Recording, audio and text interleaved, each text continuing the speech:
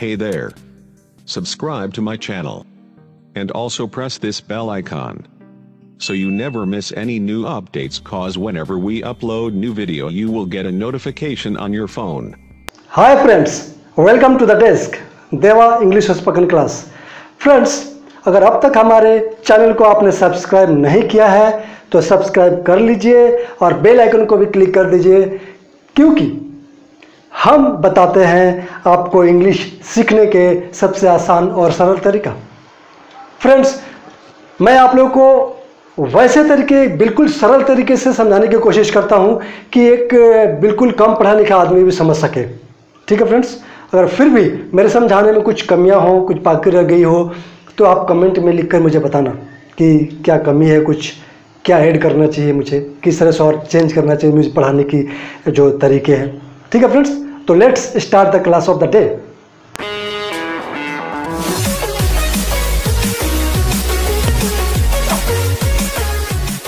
friends पिछली classes में मैंने आपको प्रेजेंट कॉन्टिन्यूस टेंस के अफर्मेटिव सेंटेंसेस बताए थे और इन्फिनिटिव सेंटेंसेस बताए थे। मीन्स आपको याद ही होगा कि जैसे वह जा रहा है ही इज़ गोइंग ठीक है? अफर्मेटिव सेंटेंस है। और इन्फिनिटिव सेंटेंस क्या होता है? वह खेलने जा रहा है। टू प्लस वर्ब तो वह खेलने जा रहा है। He is going to play वह मुझसे मिलने आ रहा है। He is coming to meet me this is the infinitive ठीक है फ्रेंड्स तो आज हम सीखेंगे प्रेजेंट कॉन्टिन्यूस में ही negative interrogative and question words ठीक है फ्रेंड्स तो कम मैं एक सेंटेंस लेता हूँ, फिर उसको ही हम नेगेटिव इंट्रोगेटिव और क्वेश्चन वर्ड्स में बनाएँगे। जैसे उसका भाई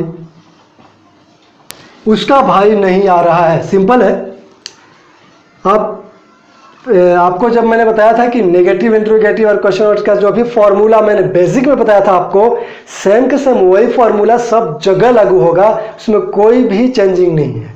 ठीक है फ्रेंड्स तो हेल्पिंग वर्ब के बाद नॉट लगाते हैं, इसमें भी वही करेंगे। ही इज़ नॉट सॉरी उसका भाई है ना? तो his brother is not coming ठीक है फ्रेंड्स हम इसको एंट्रीगेटिव में लेंगे। अब एंट्रीगेटिव में क्या होता है? मैं मैं जो पढ़ाया हूँ आपको बेसिक में, उसमें एंट्रोगेटिव की बात कर रहा हूँ। किसी बुक की बात नहीं कर रहा हूँ। आपने कोई बुक पढ़ी होगी तो उसमें एंट्रोगेटिव का मतलब who why when where what ये सब होता है। बट मैंने एंट्रोगेटिव यानी क्या से शुरू होने वाले सेंटेंस और क्वेश्चन वर्ड्स वाले सेंटेंसेस को मैंने अलग करके रखा है तो वो मैं इंट्रोगेटिव पूछ रहा हूँ। इंट्रोगेटिव में क्या से शुरू होता है? क्या उसका भाई?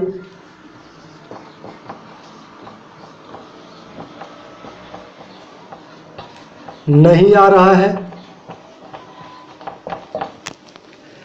तो इसमें इंट्रोगेटिव का मेकिंग फार्मूला आपको याद होगा, अगर आपने बेसिक का वीडियो देखा होगा तो। कि एंट्रोगेटिव में हमेशा हम हेल्पिंग वर्ब पहले लगाते हैं तो इसका हेल्पिंग वर्ब इज़ है तो इज़ पहले लगाएँगे। Is his brother not coming अगर यहाँ पे रहता, नहीं, यहाँ पे नहीं रहता, ये नहीं रहता तो नॉट नहीं लगता। इज़ हिज ब्रदर कमिंग ठीक है फ्रेंड्स अब हम क्वेश्चन लेते हैं। उसका भाई कब आ रहा है? उसका भाई कब आ रहा है? तो क्वेश्चन वर्ड सबसे पहले व्हेन उसके बाद helping verb is his brother coming ठीक है फ्रेंड्स ये नेगेटिव या इंट्रोगेटिव और एक क्वेश्चन नोट हो गया। बहुत ही सिंपल है। और कहा जाता है कि प्रेजेंट कॉन्टिन्यूस टेंस जो है सबसे सिंपल है। पूरे सारे के सारे टेंसेज में सबसे सिंपल है। इसको समझना। मीन्स एक ऐसा टेंस है जिसका इस्तेमाल लोग जो नहीं पढ़े लिखे हैं, वो भी करते हैं और कर लेते हैं। ठीक है फ्रेंड्स तो उम्मीद करता हूँ कि आपको समझ में आ गया होगा नेगेटिव और इंट्रोगेटिव और क्वेश्चन वर्ड कैसे बनाते हैं। अभी इसमें हम, अगर हम इन्फिनेटिव के साथ हम लेते हैं इन्फिनेटिव इसको मैं मिला दे रहा हूँ, आप लिख लेना। वह मुझसे मिलने नहीं आ रहा है। तो he is not coming to meet me ठीक है फ्रेंड्स यहाँ पर जब भी इन्फिनेटिव आए मीन्स डबल वर्ब आए तो उसमें हम डबल दूसरे वर्ब लिखने से पहले टू ज़रूर लगाते हैं। ठीक है फ्रेंड्स अभी हम इसका एंट्रोगेटिव बना लेते हैं। सिंपल है। Is he not coming to meet me ठीक है फ्रेंड्स अभी हम इसका क्वेश्चन ऐड कर लेते हैं। तो क्वेश्चन ऐड में हम लिखते हैं कि वह मुझसे मिलने, वह मुझसे मिलने